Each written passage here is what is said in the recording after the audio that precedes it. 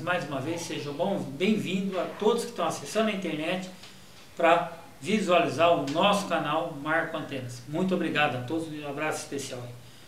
Gente, hoje eu vim aqui não para ensinar a instalar antena, falar de antenas. Nós vamos falar sobre a história do sistema de televisão no mundo. Nós já estamos aí há mais de, mais de 55 anos de transmissão com televisão, o primeiro sinal de TV que chegou numa residência.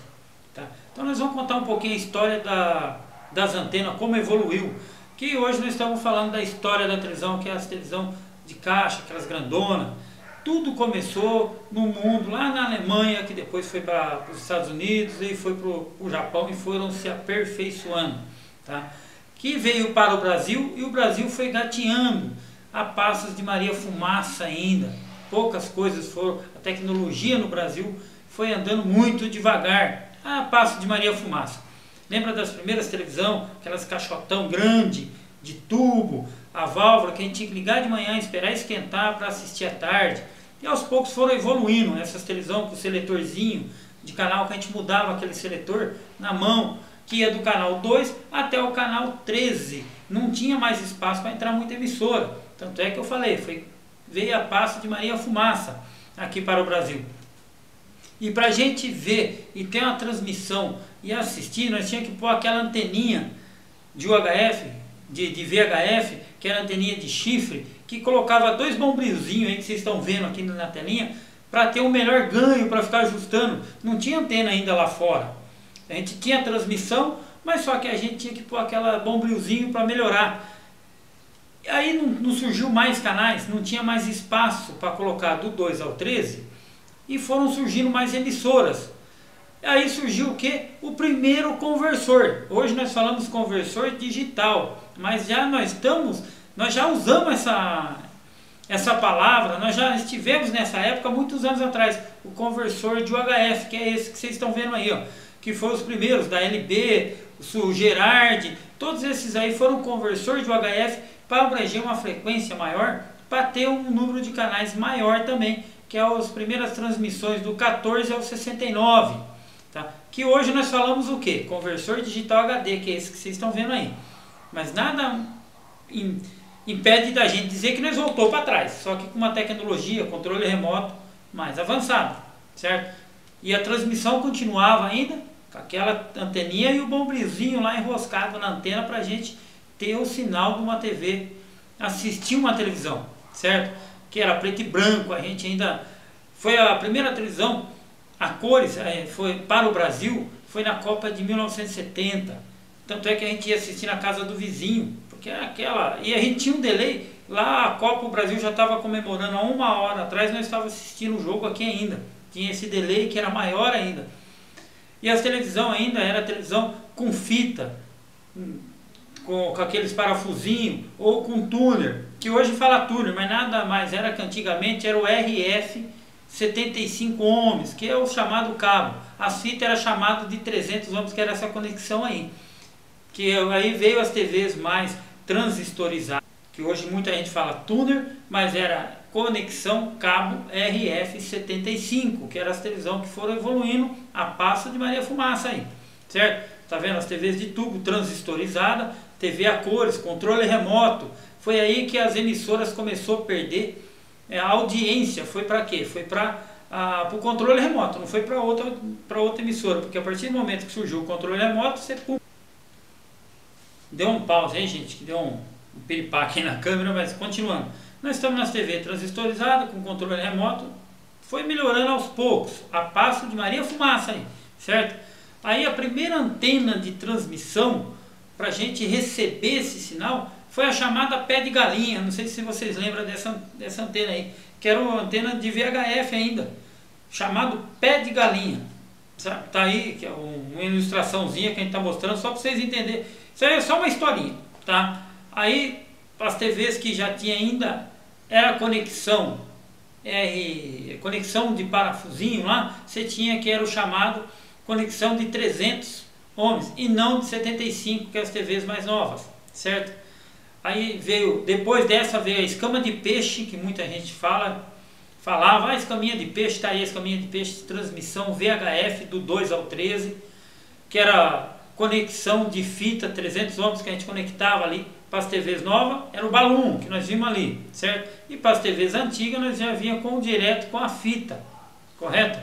Depois veio a primeira antena, a TV, a antena selada de VHF, que era o melhor ganho, que era a TVR, depois veio a BM, a Quasar, e assim foi evoluindo com o sistema de cabo coaxial. E a retransmissão saía das torres para chegar até sua casa. Nós tínhamos que pôr antena, até hoje ainda continua, colocando antena alta, nós tínhamos que pôr essa antena alta para receber esse sinal através dessa antena. Lembra do VHF que eu acabei aí falando? Aí surgiu o UHF, antena transmissão de UHF, que nós temos que usar o conversor, mas tinha que ter esse outro antena, não era Aqui era VHF e aqui é o UHF, que a gente tinha que ter os dois sinal, certo? Então, para ter o maior leque de números de emissoras, passou a ter o UHF. O sinal ainda era ruim, subiu, a antena estava alta. Aí nós tivemos que colocar o que? Um amplificador, que nada, o booster em inglês chama amplificar. Então estava amplificando o sinal da antena para chegar até sua casa, para ter uma melhor qualidade. Aí foram surgindo mais emissoras, cada emissora foi pondo sua torre. Hoje, em muitas, em muitas cidades, você vê lá na, na parte mais alta da cidade um monte de torre transmissora para que esse sinal chegue até sua casa. Por isso que surgiu os dois sistemas de antenas. A antena de VHF do 2 ao 13 e a antena de UHF do 14 ao 69, porque já não tinha mais espaço naqueles números de frequência nas primeiras invenções de transmissão de VHF, certo? Aí foi evoluindo a antena de VHF, a boca de jacaré, que hoje eu faço questão de falar que é o melhor sistema para o digital HD hoje é a boca de jacaré, mas já existia essa antena boca de jacaré lá atrás também, tá? que era da TVR, e assim foi evoluindo. Essa daí é da LB, que também era antiga, só que a LB fazia aquela anteninha de araminho em pé, não sei se vocês estão lembrados aí, que essa eu não tive foto para mostrar.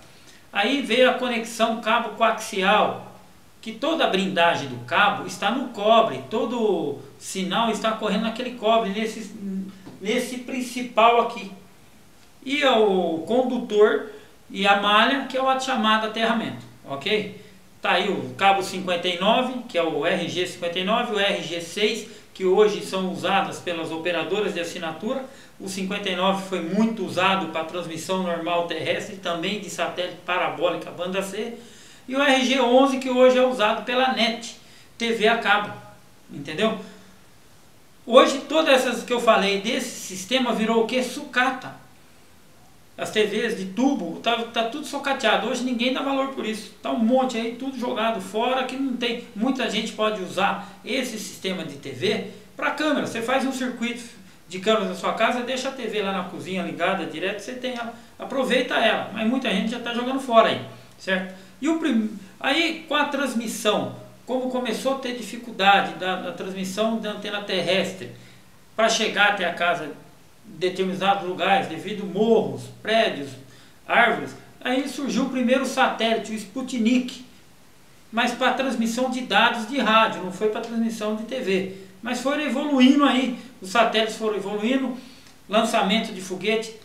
Me falaram, eu tive uma informação que antigamente o satélite era lançado pelo foguete e os foguetes eram dispersados lá no espaço, correto?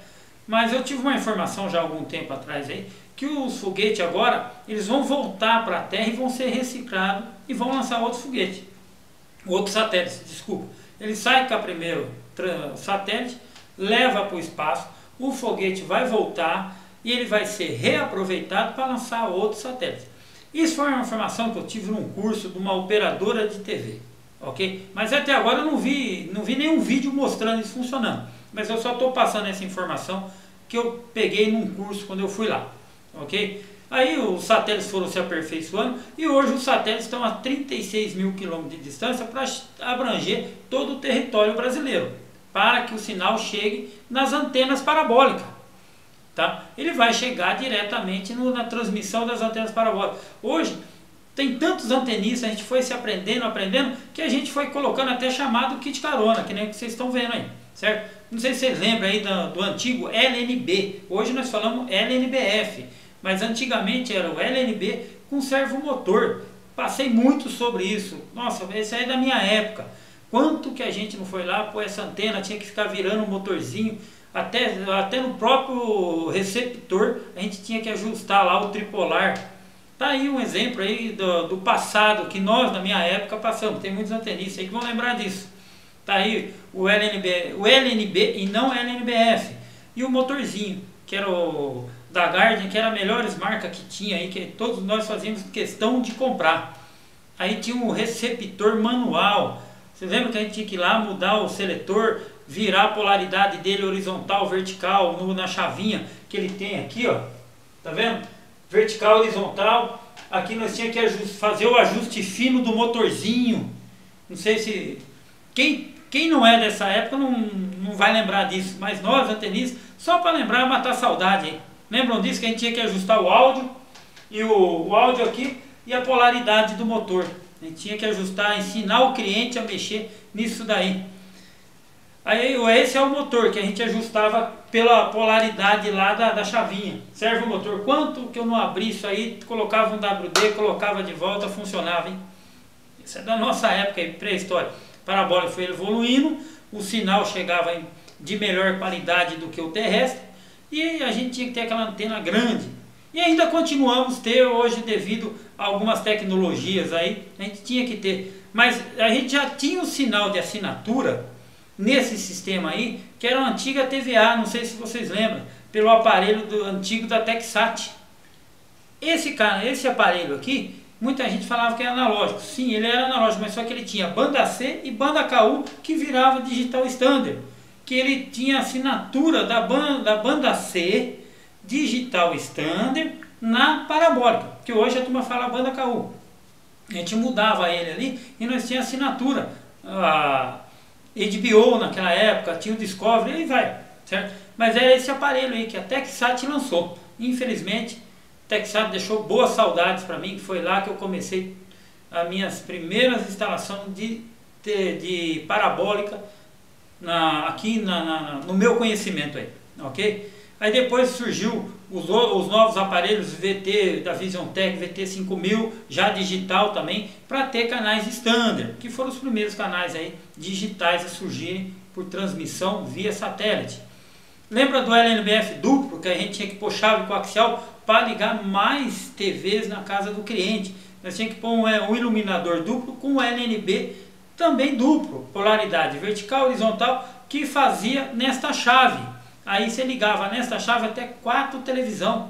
Veja bem aí, nós tínhamos que ligar o tripolar lá, que era o vermelho, o branco, o preto, para que a chave virasse. Fazia a função do servo motor.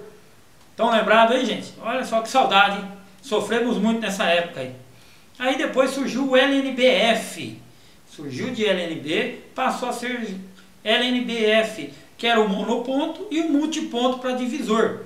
Matou todo o sistema antigo da parabólica, certo? Aí começou, foi evoluindo as televisões, surgiu as primeiras TVs de plasma. Começamos a entrar na era digital de verdade.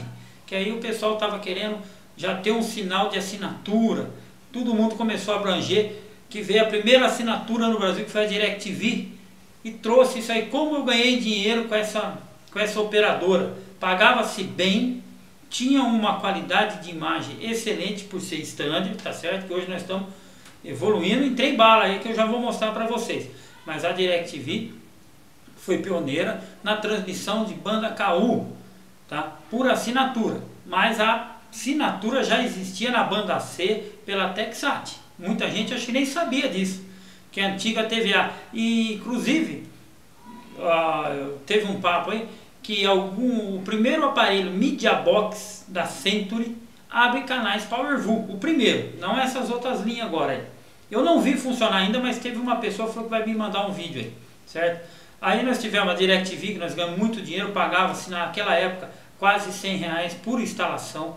Instalamos bastante disso aí. Foi com, esse, com a DirecTV que eu comprei a minha primeira casa, que eu fui comprar meu carro. Foi top de linha. Infelizmente, hoje as operadoras pagam um pouco para os técnicos. Mas por aí vai, deixo para vocês julgarem isso aí, as imagens falam por si mesmo. Aí a segunda concorrente da banda Caú foi até que eu acabei de falar, deixou saudade e infelizmente acabou. Mas foi a segunda banda Caú, depois foi vindo, foi feita a fusão da DirecTV com a Sky e aí entrou um monte de operadoras, certo? Que aí começou a andar a tipo de trem-bala. Pensa como foi evoluindo isso aí e a gente tentando acompanhar a tecnologia de transmissão. Então tá aí uma coisa que de louco. Se você tem dinheiro, você assiste. Se você não tem, você vai partir para outros meios mais baratos aí para você assistir televisão.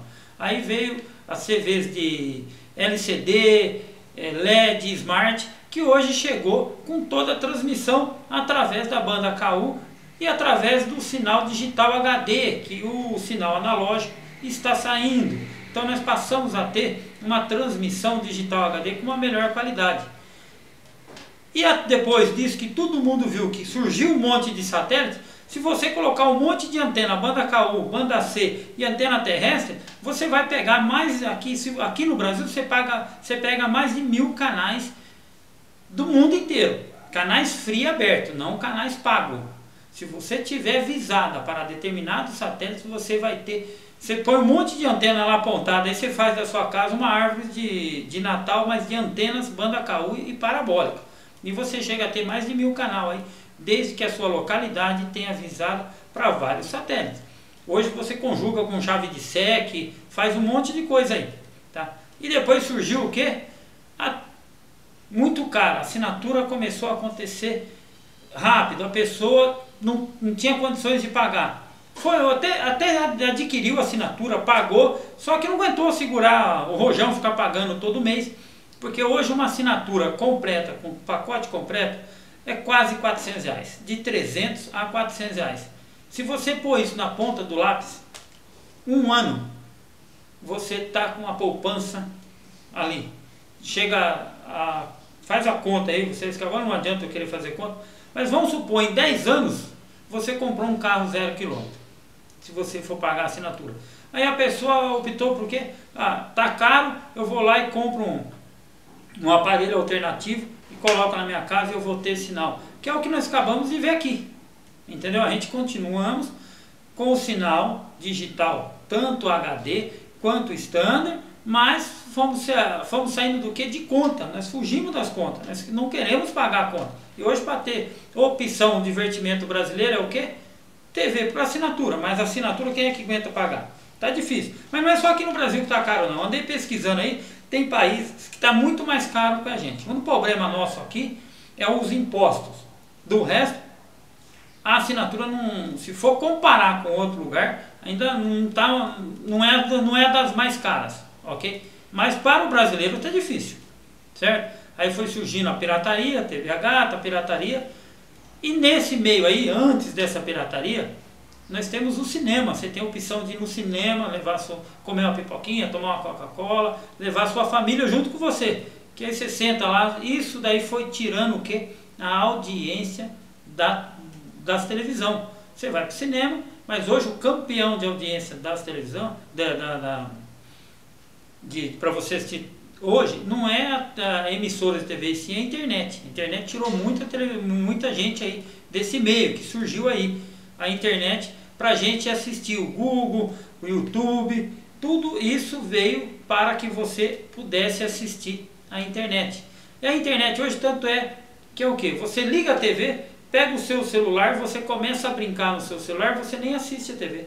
Você fica no WhatsApp e vê no YouTube, o Google, que ali você passa mais tempo na, na, navegando na internet do que assistindo televisão.